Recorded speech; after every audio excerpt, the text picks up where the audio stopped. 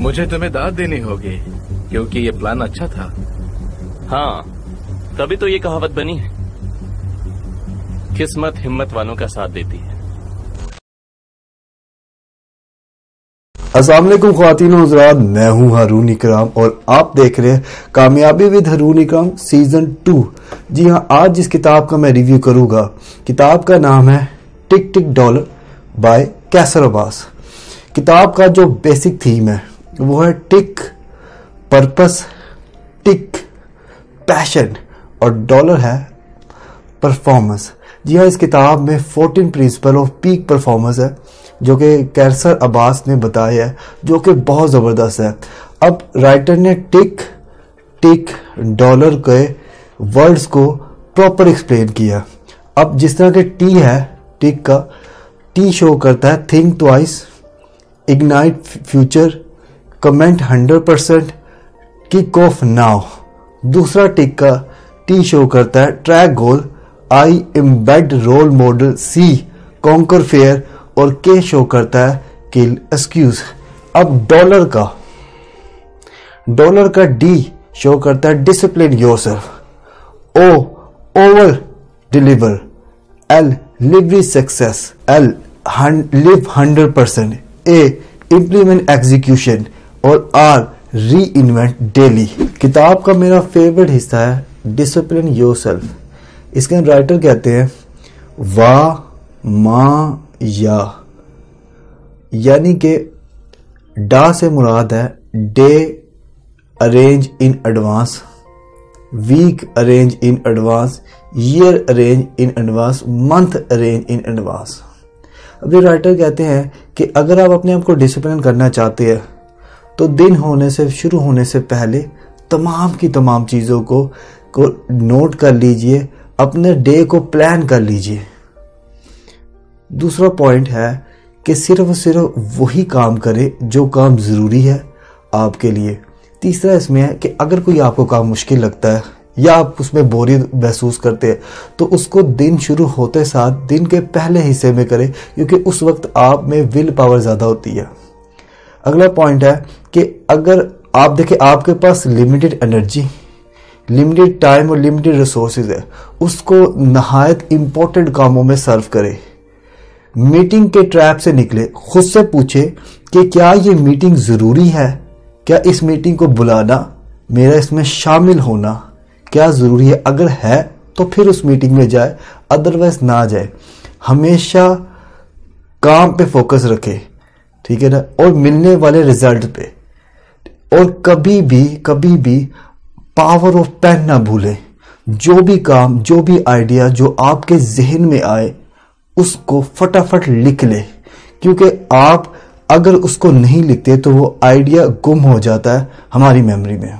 Next है over deliver अब इसमें राइटर कहते हैं कि हम किस तरह से ओवर डिलीवर हो सकते हैं, हम किस तरह से पीक परफॉर्मेंस कर सकते हैं।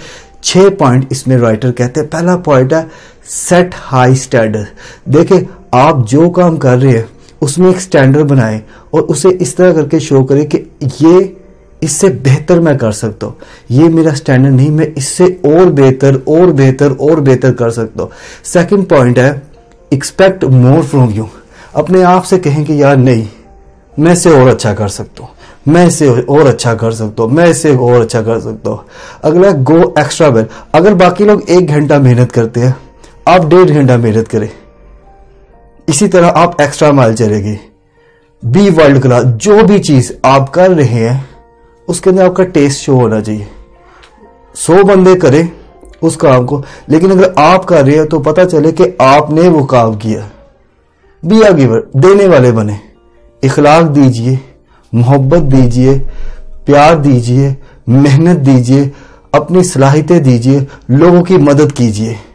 Live your mark work is identity यानी कि leave your mark work is identity से मुराद यह कि जो भी काम करें, उस पर अपनी छाप छोड़ जाए कि ये काम आपने किया। अब इसके लिए आपने करना क्या है? आपने एक टू डू लिस्ट बनानी है। जिसमें आपने तमाम के तमाम कामों को प्योरिटाइज करना है कि ये ये काम मेरी जो है ना, वो प्योरिटी पे है। और एक बात कभी ना भूलेगा आपने फोकस करना है आउटकम पे, ना कि एक्टिविटी पे। मतलब आप काम कर रहे हो, अगर उसका कोई आउटकम नहीं निकला तो उसका मतलब ये है, या तो वो काम गलत है, या तो फिर उसको करने का तरीका गलत है। तो हमेशा फोकस रखे आउटकम पे, और एक्टिव सिर्फ़ एक्टिविटी पे नहीं सेवन ड्रेडफुल बिहेवियर्स पहला है वेटिंग फॉर राइट मूड भाई, जब हमारा मूड करेगा, तब हम काम करेंगे। जब सिग्नल पे तमाम के तमाम लाइटें ग्रीन हो जाएगी, तब हम निकलेंगे। वेटिंग फॉर राइट टाइम कि अगर राइट टाइम आएगा तो मैं उस वक्त करूँगा, नहीं तो अदरवाइज़ मैं नहीं करूँगा। भाई, हमारे पास क्लियर गोल नहीं है। हम क्या करें? हमें मुश्किलें बड़ी ज़्यादा मारती। हम क्या करें? हमारे पास वक्त नहीं है करने का। ये गोल तो मेरा था ही नहीं। मुझ पर तो ये चीज़ लाद दी गई है। ठीक है? मैं मैं तो भाई परफेक्शन नहीं हो। मैं परफेक्ट जब जब परफेक्ट होऊँगा, तब करूँगा। ये तमाम के तमाम जो है ना, वो बिहेवियर है जो हमें काम करने से रोकते हैं। आपको पता है हमें एक्शन कौन नहीं करने देता? हमारे एनिमी ऑफ़ एक्शन क्या है? वो है अगर हम फेल हो गए अगर हम कामयाब नहीं हुए क्या हुआ अगर हमें दर्द हुआ क्या हुआ अगर, अगर सब कुछ गलत हो गया क्या हुआ अगर मैं सब कुछ हार गया? ये तमाम के तमाम चीज़ें हैं जो हमें काम नहीं करने देते। अब इसका सोल्यूशन क्या है? इसका सोल्यूशन है I M technique I M A N technique इसका मतलब है आई मस्ट एक्ट नाउ मैं अभी करूँगा। क्योंकि अगर आप अभी नहीं करते तो वो काम कभी नहीं होता। तो जी हाँ ये तमाम के तमाम खौफ आपको आएँगे, ये एक्शन ना लेने के बहाने आएँगे।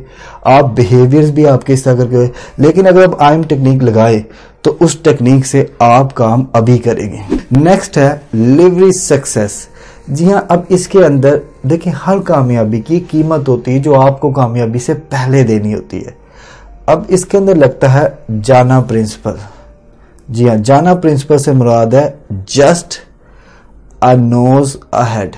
देखिए, अब इसमें राइटर कहता है, आपको डबल ट्रिपल मेहनत करने की ज़रूरत नहीं है।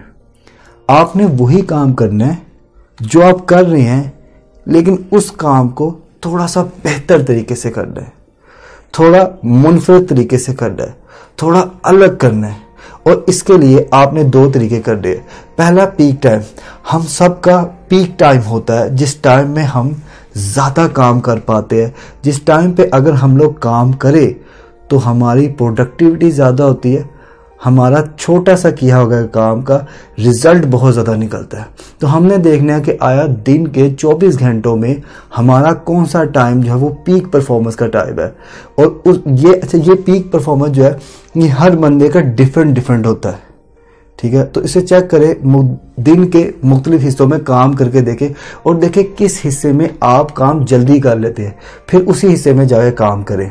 और दूसरा जो है, दूसरा वो है परीटो प्रिंसिपल जी हाँ Pareto principle twenty percent effort is equal to है eighty percent of result Vilfredo Pareto ने एक प्रिंसिपल निकाला था। उसने कहा था कि सिर्फ़ 20 परसेंट जो हम एफर्ट करते हैं, उसका रिज़ल्ट 80 परसेंट निकलता है।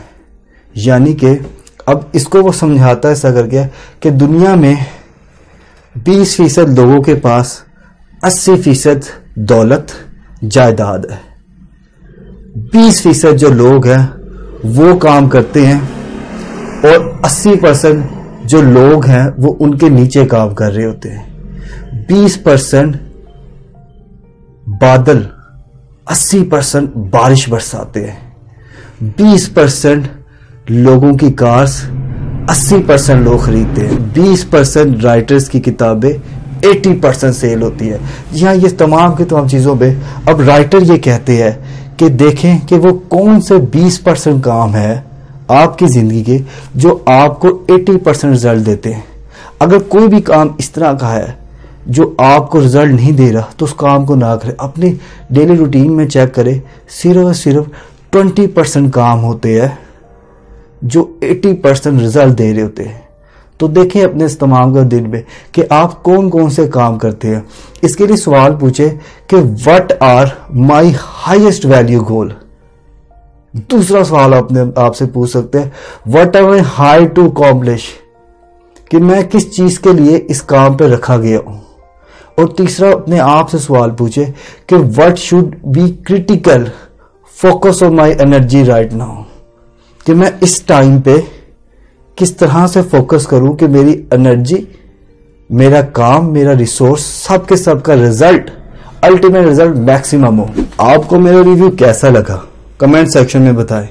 और अगर आप किसी किताब का रिव्यू करवाना चाहते हैं तो वो भी कमेंट सेक्शन में ज़रूर लिखें। और सब्सक्राइब कीजिए हमारे चैनल को। और साथ ही साथ दबाइए बेल के आइकन को, ताकि आपको मिल सके हमारे चैनल की हर न्यू अपडेट और अगर आप इस किताब को ख़रीदना चाहते हैं, खुद पढ़ना चाहते हैं तो मैंने डिस्क्रिप्शन में एक नंबर दिया है। उस नंबर पर जाकर सिंपल व्हाट्सएप करें, आपको ये किताब होम डिलीवरी आ जाएगी। Thanks for watching